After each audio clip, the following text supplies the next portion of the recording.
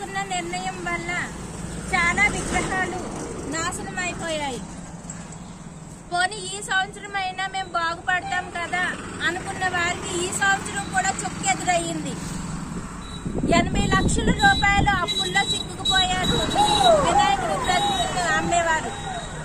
నిజంగా వాళ్ళ బాధ వర్ణనాతీతం.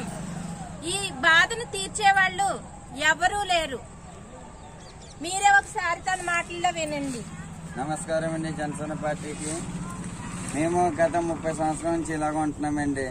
మాకు ఏ సంవత్సరం ఏమి లేనిది ఇప్పుడు చూడండి ఇలాగ మాకు ఇలాంటి పరిస్థితి వచ్చింది. ప్రతి ఊర్లో పంటలు గిట్టలు చేస్తున్నారు. ప్రతి దిక్కున అన్ని ప- అన్ని చేస్తున్నారు. అన్ని పండుగలు చేస్తున్నారు. ఓన్లీ వినాయక చవితికి ఎందుకు అడ్డు కొద్దిగైనా మాకు రికమెండ్ చేస్తున్నాం మేము. కొద్దిగైనా మాకు పర్మిషన్ చేసి జనసేన పార్టీ అయినా ఏ పార్టీ అయినా కొద్ది మా సపోర్ట్ కింద వచ్చి మమ్మల్ని కొద్దిగా ఆదుకోండి. ఏమంటే అండి కరోనా వల్ల బొమ్మలు చేసాం ఇలాగా ఇప్పుడు ఆ అమ్మలేకపోతే ఆ జనాలు తీసుకోలేకపోతే ఇలా పగిలిపోతే పడిపోయి.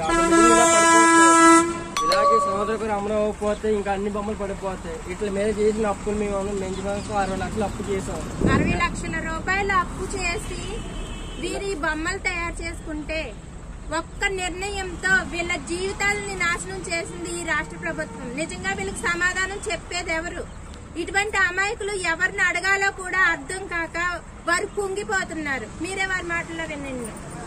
మాకు ఒకసారి గవర్నమెంట్ జగన్ గారు వారికి అన్నం పెట్టి నమస్కారం చెప్తాను. ఒకసారి మాకు అవకాశం ఇవ్వండి. ఒకసారి ఒక్కసారి మేము అమ్మేసి మా ఊరు మేము వెళ్ళిపోతాం. లేకపోతే మేము ఇంకా ఇవ్వకపోతే ఇంకా మేము ఏ మా సాగు మేము చచ్చిపోతాం లేకపోతే రోడ్డు మీద చచ్చిపోతాం లేదా ఆత్మహత్య చేసి ఉంటాం. ఖచ్చితంగా మాకు ఒక అవకాశం ఇవ్వాలండి. ఆత్మహత్య చేసుకోవడం తప్ప ఈ అప్పుల నుండి బయటపడే దారి మాకు లేదు. దయచేసి జగన్మోహన్ రెడ్డి గారు మా కష్టాన్ని మీరు ఆలోచించండి. మా పరిస్థితి ఏంటి? మీరు ఇటువంటి నిర్ణయాలు తీసుకోవడం వల్ల అని వీరు చాలా బాధపడుతున్నారు. కారణం వీరు వీరికి వేరే వ్యాపకం లేదు. కేవలం ఈ బొమ్మలు తయారు చేయడం వాటిని అమ్మడం హిందూ ధర్మం మీద ఆధారపడి బ్రతుకుతున్న వీళ్ళ జీవితాలను అధోగతి పాలు చేస్తుంది రాష్ట్ర ప్రభుత్వం.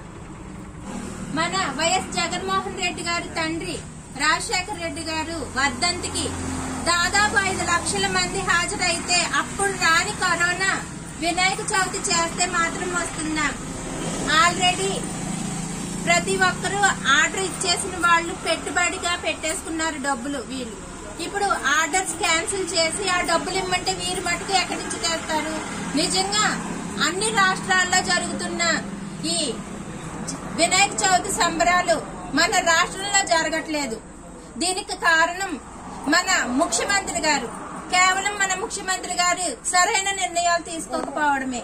నిజంగా వీరు వీరికి జరిగిన అన్యాయం చెప్తుంటే మా కళ్ళంటి నీళ్ళు వస్తున్నాయి. ప్రతి జనసేన వీరికి సపోర్ట్గా ఉండాలని కోరుకుంటూ జై జనసేన జై హింద్. ఈ వీడియో కనుక మీకు నచ్చినట్లయితే లైక్ చేయండి షేర్ చేయండి సబ్స్క్రైబ్ కండి. చూస్తూనే ఉండండి వన్ వెన్యూ.